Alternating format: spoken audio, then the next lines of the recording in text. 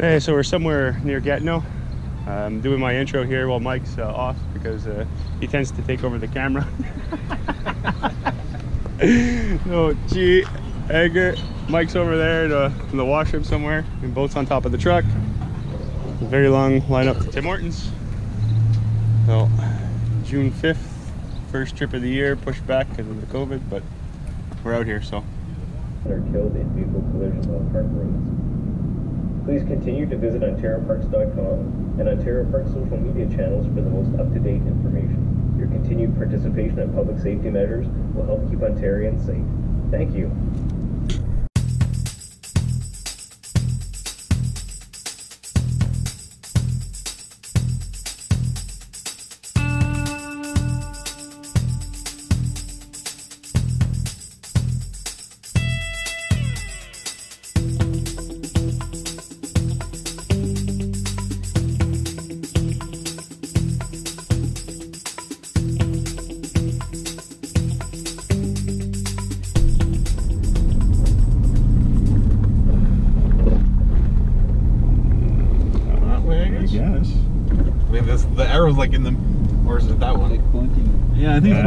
One. Yeah.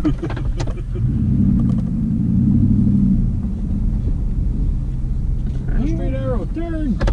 I mean, it really is kind of no, between it's the kind of two. between the two, so. Uh oh, this way.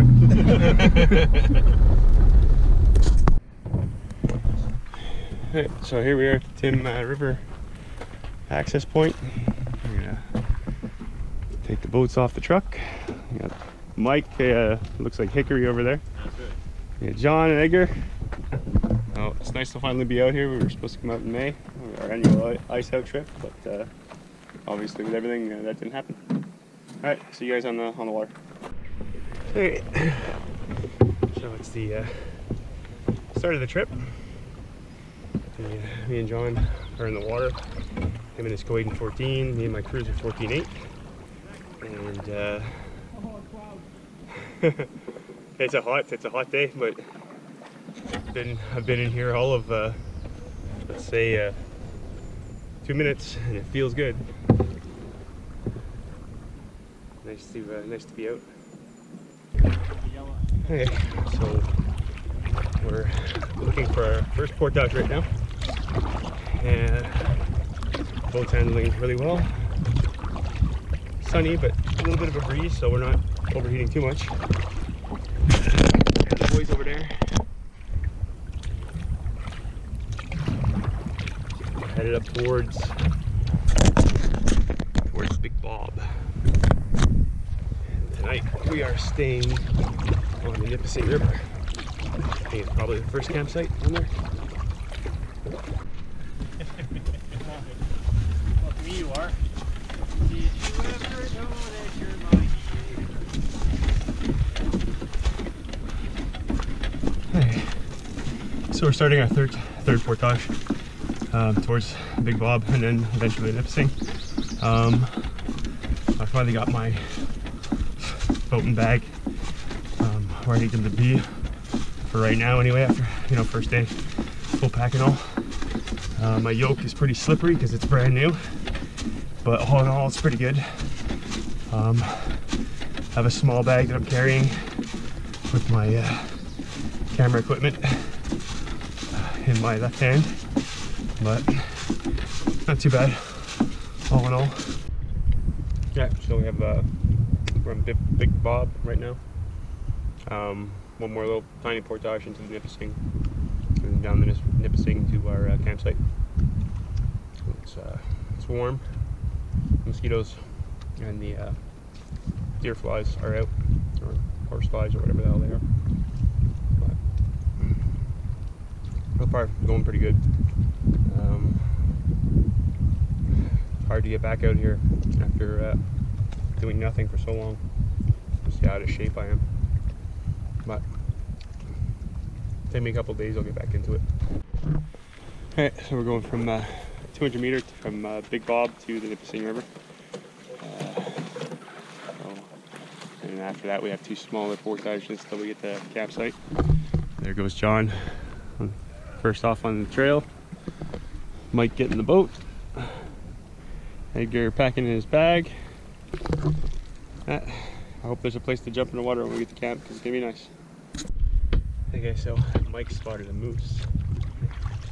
So I got my super zoom camera out and uh, tried to find it. I don't know if I actually got any of it. I was a little bit too close to the to the foliage, and his or her head was kind of just barely over the top of that. So I don't think I got anything, but promising. Just got a Nipissing, saw a moose. It's good. Good time so far. Alright, so we found our first campsite. Uh, it's on the portage. Uh, Mike's got this uh, smoky ass fire going. Ah, 'cause there is a slight breeze and the bugs are not too bad up on the campsite, but once you get down towards the water, they're a little bit, uh, a little bit on you, but not too too bad. So I'm going to uh, make myself a coffee, and uh, yeah, that's it. Enjoy it. See you later. All right, so Mike, how are you enjoying the trip so far? It's pretty good. Yeah, you gotta talk louder. No complaints. I'm enjoying it. Or the- What is that on the mic? It's a, it's a, it's a, it's a fucking, well, it's supposed to be a dead cat, but it's too small, so it's a dead mouse. Fucking, Edgar, what about you? it's a baby tribble. 10 out of 10. 10 out of 10. Yep. Yeah. He has low expectations. Actually, the mic's still pick, you're, you're talking low, but the mic's still picking you up. Oh yeah. The mic's still picking up Mike. Oh, it's a dead oh. tribble. That's what it is. I'm telling you. Yeah, so we got our customary steaks for the first night here. Me and John got ours on the fire already. Edgar's spicing his up. Mike is uh, about to drop it in the coals. Drop it like it's hot.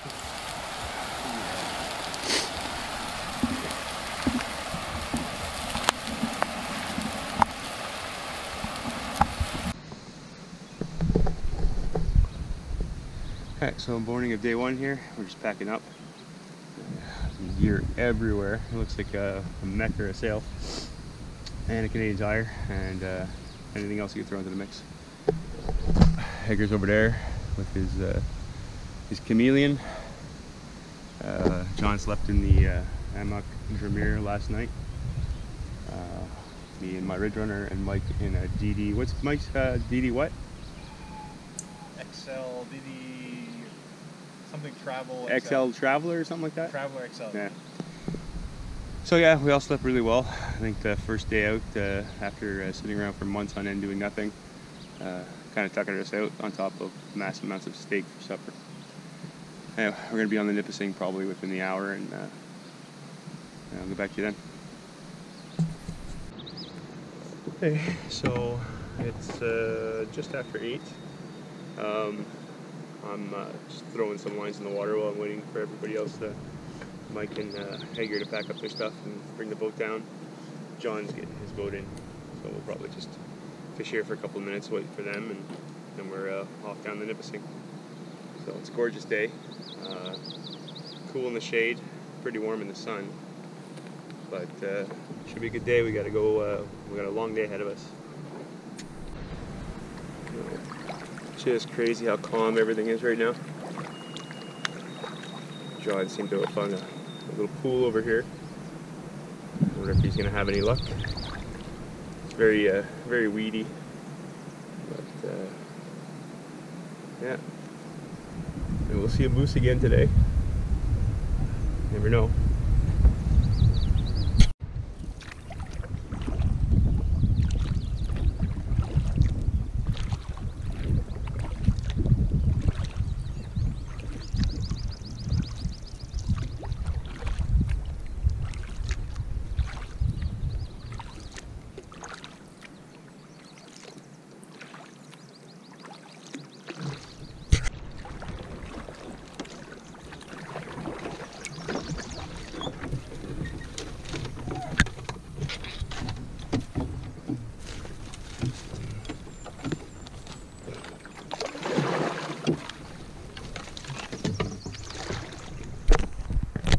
Yeah, so now we're you know apart.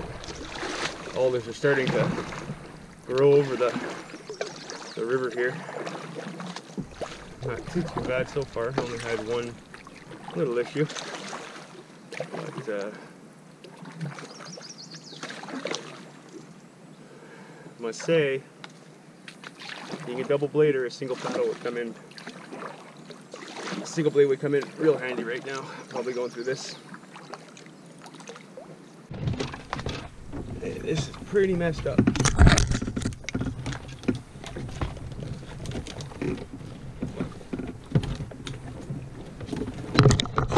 I've never seen trees so thick. Uh, part you're supposed to paddle.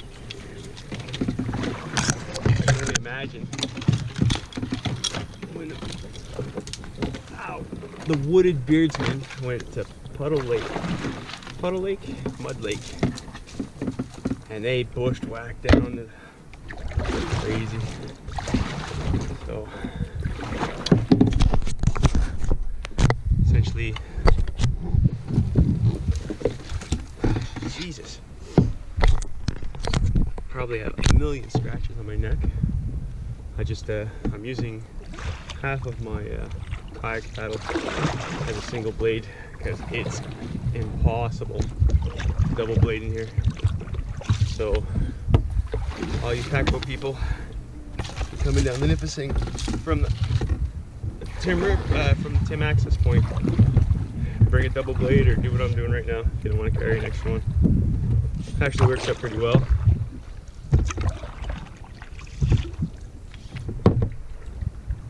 A lot of back and forth though because hey, seems to be opening up a little bit here.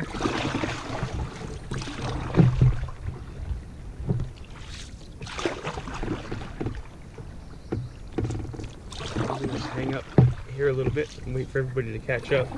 Make sure everybody's okay. Jesus Christ. Oh fuck.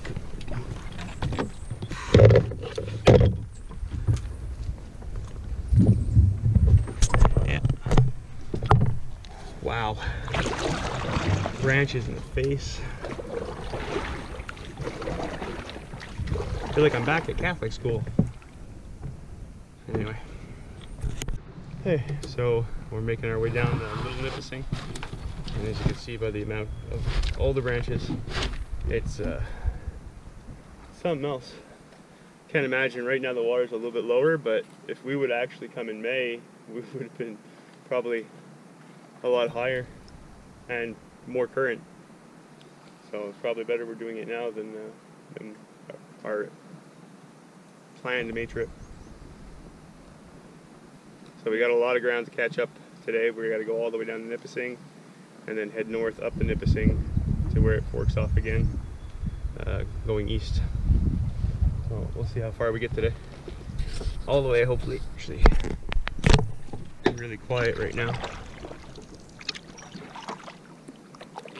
don't have a very long paddle, so me and John are going a little bit ahead so we don't bottleneck the portage. Next one's a little 55. Oh yeah, it's, it's really nice to be out here. And I keep saying that, but I got a lot going on in my life right now. And I kind of need to get away. Not think about anything for you know, a week, just with my buddies and just relax and enjoy nature. And I think it's the, uh, the Japanese actually have therapeutical, therapeutical nature trails that doctors prescribe to their patients. And they just walk and soak in the energy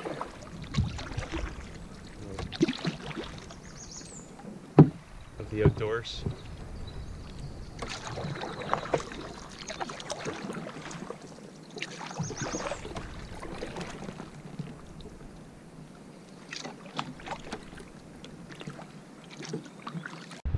All right, so we just made it to the uh, the portage finally after winding our way down the Little Nipissing, and uh, here come uh, Mike and Edgar.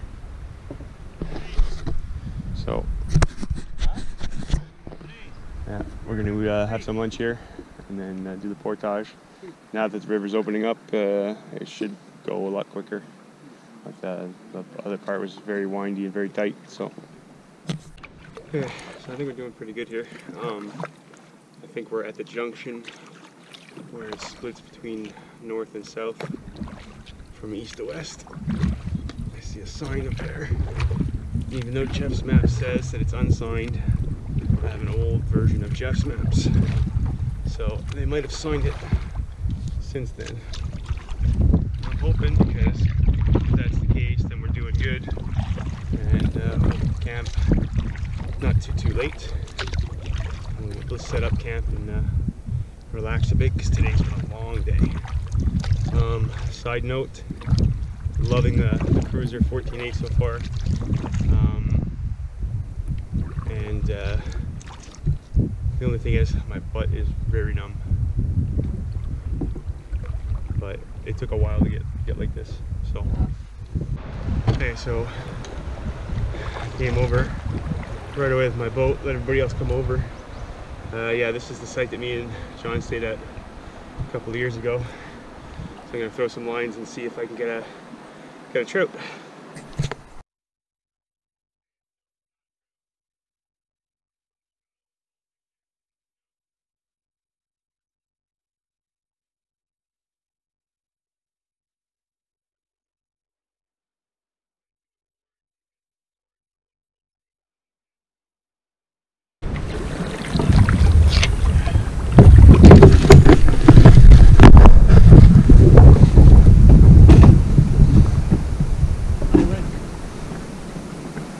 You make it a. Can you do it? Oh, that- might want to take the life jacket off. Oh, no, you got it. Paddle, Mark. Like, Okay. You threw it. my crotch. His crotch. Dude, man.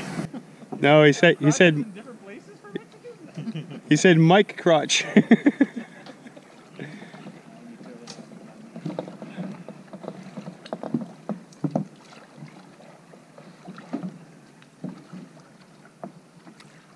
How low can you go?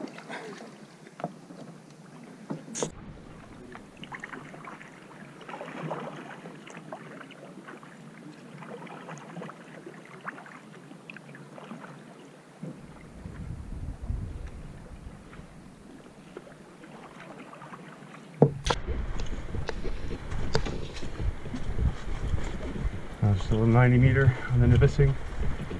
Slowly whittling away up to our campsite. A little chunk at a time.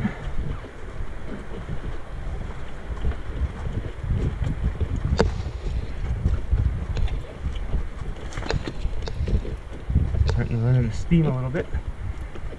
Probably have some sugary snacks, some water.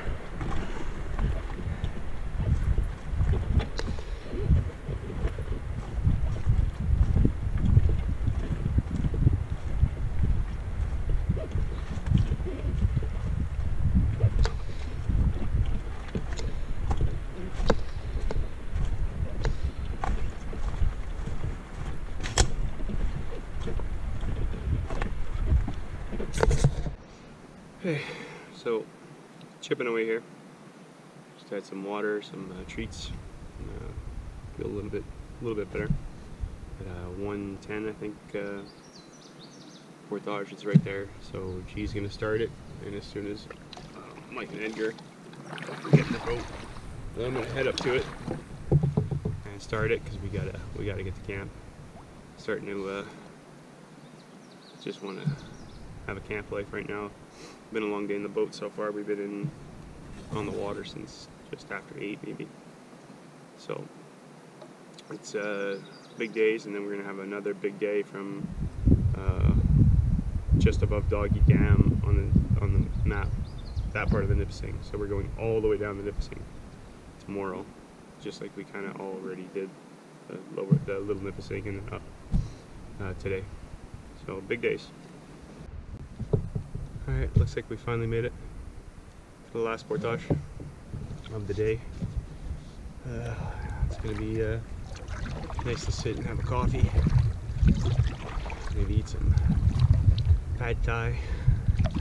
I'm not sure yet if I'm gonna eat my uh, chocolate uh, cheesecake mix that I brought with me. But we'll see. Hey, so apparently I was wrong.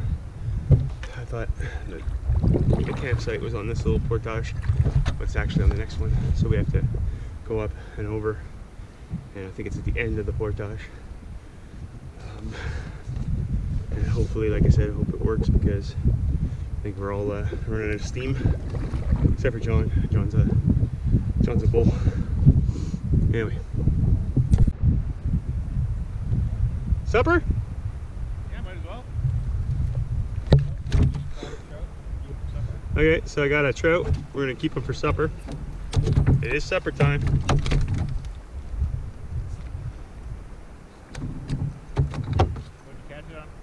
Uh, EGB, beige and gold.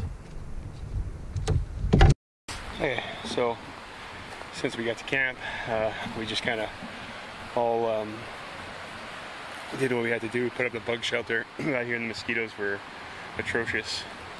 Um, so we just kind of everybody did. Well, I got a smoky fire going. John got the bug tent up, and Mike started uh, clearing spots for the hammocks.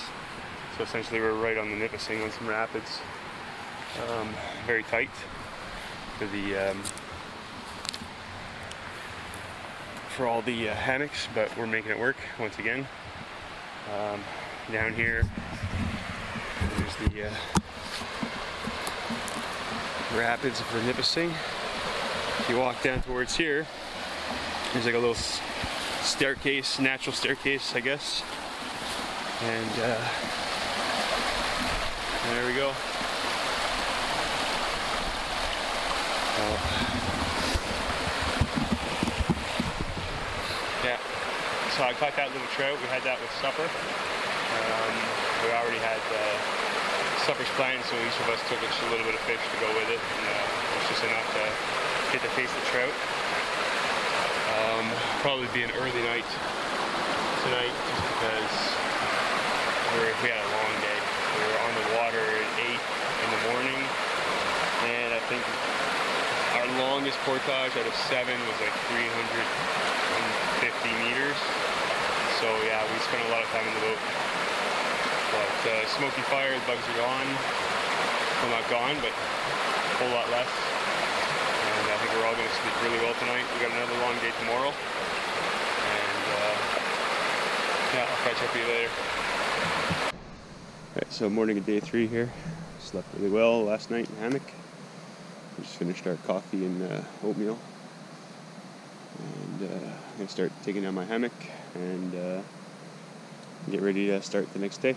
So, like I said, today we're going all the way down to Nipissing from the north end towards Nadine. So, anyway, my hammock set up back in the woods for the night. Edgar going to watch his wash his socks. John and Mike sitting, probably arguing over something. Mm, yeah. So, see you later. Hey, so Mike and Edgar are packing up their hammocks and whatnot. I've already uh, walked my boat down to the cabin on the Nipissing Portage. Um, now I'm just walking my bag, walk back up after, and walk my camera bag and my paddle, which is the only two things that are left. Um, unfortunately, I lost my sunglasses, but for some reason, like I never bring an extra pair, but this trip I figured somebody would lose their sunglasses or forget them. So I, I brought an extra pair, so I guess I'm using them for me. Yeah, so when I brought my boat down, I forgot that the uh, the cabin was like, you know, there's still quite a bit of the portage left of the cabin. After the cabin, that is. Um, so, uh, like I said, hopefully we'll have there's lots of little rapids and stuff like this that we can uh, that we can fish. So as long as we're doing the time that we want to do, um, we shouldn't have any problem enjoying the day. Uh, even if we get to camp a little bit later, it's getting dark around. Well, I wouldn't even say dark.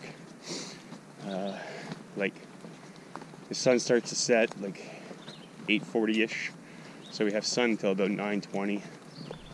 which is a difference from the May trips where we have to worry about maybe setting up in the dark if we're running late.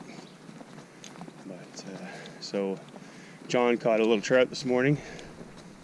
Um, I haven't done any fishing uh, today, but uh, see what happens. Go from there. Okay, so here's the cabin. Uh, big moose moose rack here in the front. Some kind of grinding stone, various saws. So, if the uh, campsite wouldn't have worked, we were gonna try and come down here and see if we could. Oh, we could have actually done it. Lots of trees back in there. We could have done. So, anyway. Let's inside here.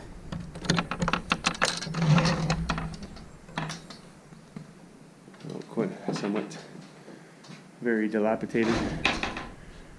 Uh, treat this cabin as you would a campsite. If you brought it in, you bring it out. Oh, look at that. Uh, two years ago when we were here, this this was all full of cans, and canned goods and whatnot. Um, so, yeah, I see a dustpan. I don't see a broom anywhere, but I mean, we could have we could have made this work for the night if we had to. Not necessarily the cabin, but um, out the back for the, for the hammocks.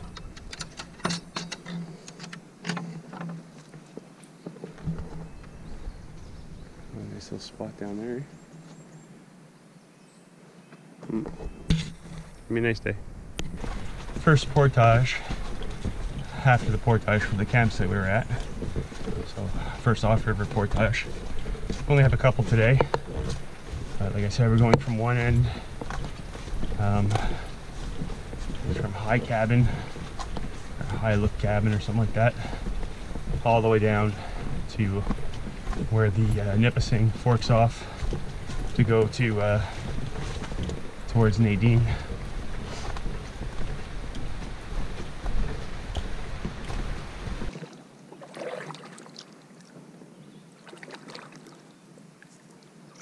Gooses. What up, gooses?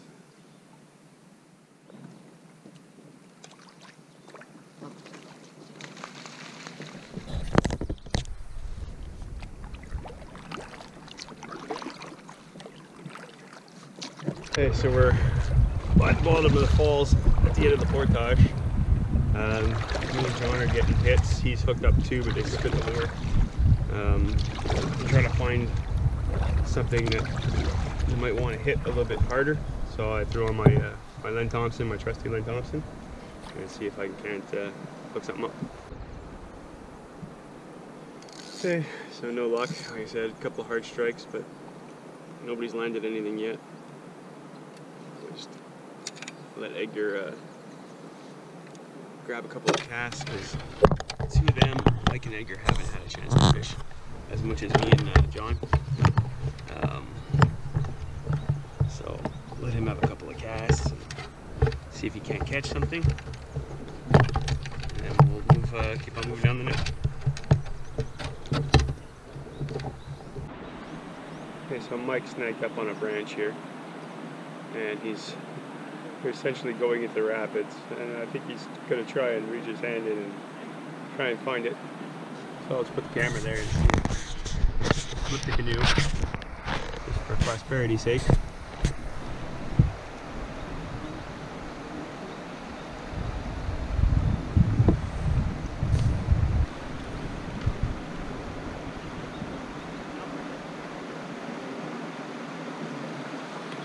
And he gives up.